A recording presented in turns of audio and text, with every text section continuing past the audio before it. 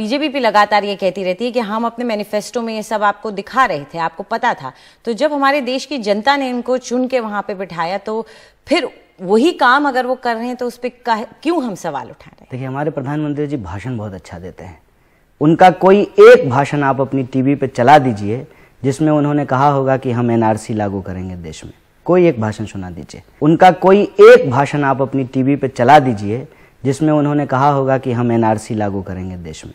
कोई एक भाषण सुना दीजिए। आप सभी को ये भरोसा दिलाने के लिए आया हूँ कि national register of citizenship,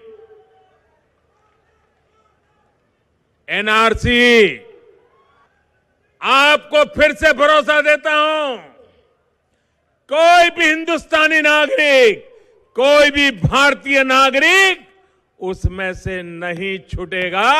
ये मैं आपको विश्वास दिलाता हमने उसको ईमानदारी से आगे बढ़ाने का प्रयास किया और एनआरसी के बाद अनुभव आया है कि चित्र बड़ा चिंताजनक है।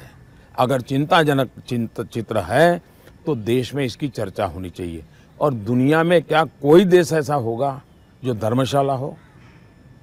दुनिया में कोई देश ऐसा होगा जिसके पास अपना सिटीजन का रजिस्टर न हो? होना चाहिए कि नहीं होना चाहिए? सवाल उनको पूछना चाहिए जिन्होंने सत्तर साल तक देश में सिटीजनशिप का रजिस्ट्रेशन नहीं किया। सिटीजनशिप का रजिस्टर नहीं बनाया गया। किसी को कोई आइडेंटिटी नहीं है। सत्तर साल तक जिन्होंने नहीं किया, वो पापी हैं, वो गुनहगार हैं, उनको पूछना चाहिए। जो ईमानदारी से देश की भलाई के लिए कर रहा है, उसको पूछा जाए, ये देश का दुर्भाग्य है।